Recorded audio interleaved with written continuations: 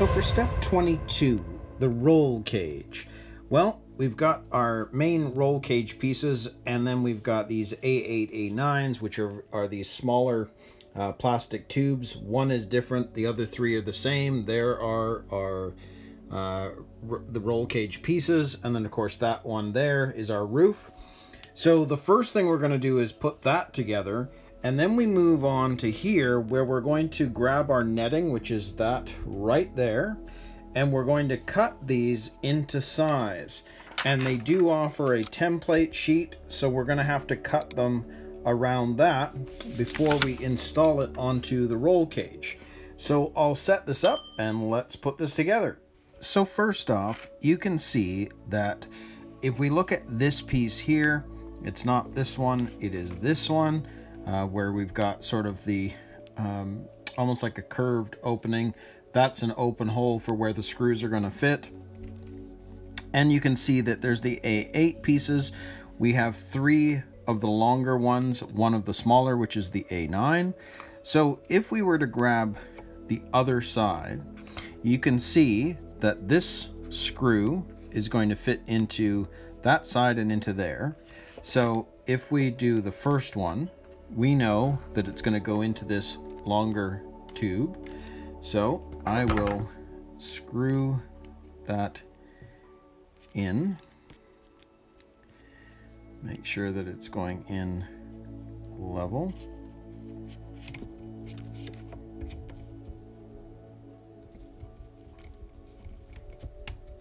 There we go.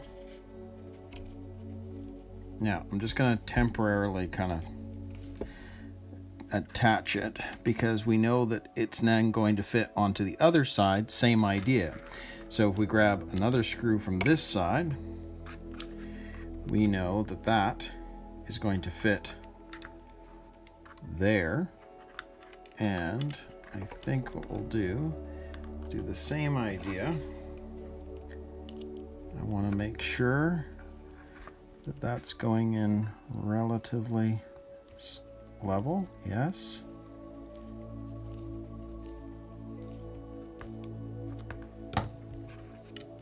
And I'm not going to tighten it all the way until I've got everything else set up properly.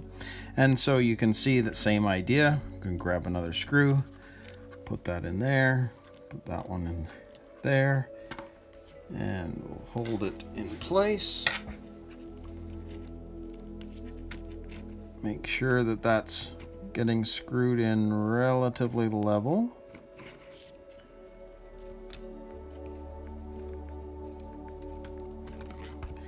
And again, do the same thing on the other side.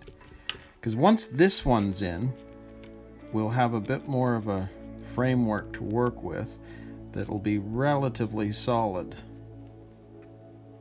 So, same idea.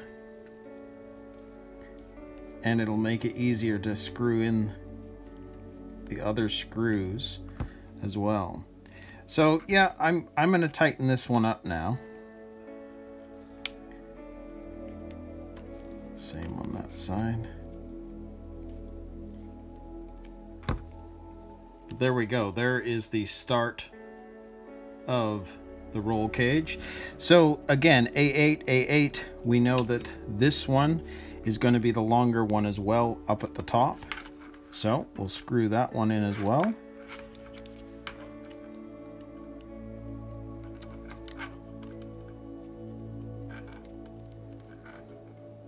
Get that one started. And again, I'm going to do the same thing on the other side. And we'll get that one started.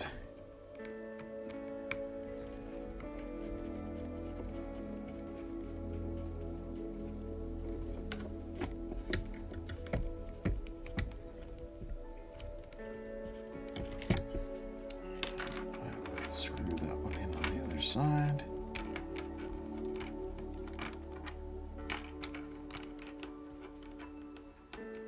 Now, again, I haven't done it all the way yet, but you kind of get the idea here. And then you have the smaller one, the A9 piece, which is going to go in to the middle area.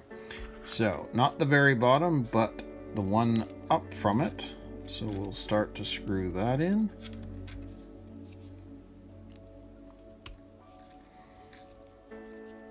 Just to get it started so I can get the other side in.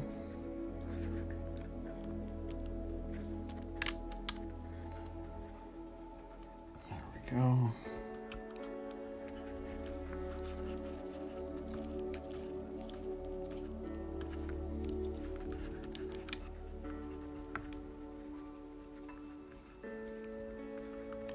Okay, so that's ultimately uh, how it'll look. You've got the two at the top, one at the back, and then the one just below it. This is going to be remain open because that'll attach to the chassis. So I'm going to screw these down nice and tight. Not much point in doing that on camera. So once that is done, we'll move on to the next bit where we're going to add the netting and the roof. So for this part here, we have to cut out the square netting pieces. Now, I decided that this was the original template that comes with the kit. I didn't want to use that. I decided to do a photocopy and use something like this so I can keep the original. Um, probably don't need to, but I just decided I would. So I cut out a template here, and in fact, I, with this, the um, other square piece that the kit came with, I actually cut out both those just by placing it on top after I'd cut it and then matching it and then going around as best I could. So I did that for both sides. So I have the two pieces now that we need for both um, the left and right sides of the car. So what we have to do now is actually attach this all to the roll cage. Now, I think what we'll do is if you look at how the roof is supposed to go on, so the louver, wind louver is supposed to sit like that on top, and you can see the way that they're doing this, that they're saying make sure the fastener sections of the nylon bands are inside of the roll cage. So in this particular case, based on what they're saying, this piece here needs to be on the inside when you roll wrap this around. So if we were to do that, uh, let's just let's grab one of these pieces.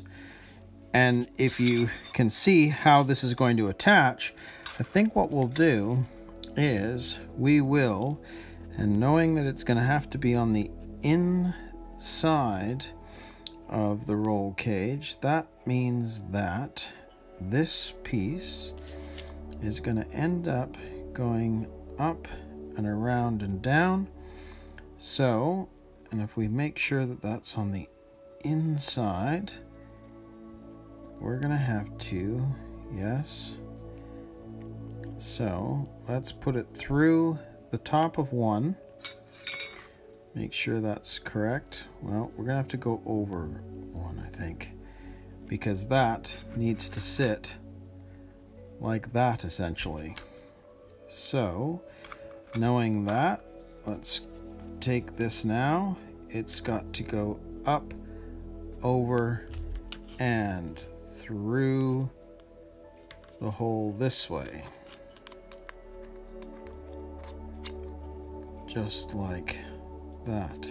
So I had to change tactics with this one. It was almost impossible to do it with the camera in the way because you really need to be close to the working surface in order to figure this out because the netting moves all over the place the bands are are are hard so they're harder to get into the holes because then they spring loose and uh, so I just decided to do this off camera but you can see that from the outside, you just see the black bands all the way around.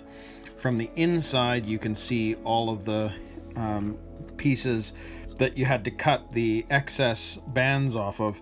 So they they were saying that the fasteners they wanted on the inside, which is exactly what I've got here. So I have gone ahead and done it. Looks pretty cool. This is on nice and firm. So step 22 is finished. So we're going to move now on to step 23 and we're going to attach the roll cage.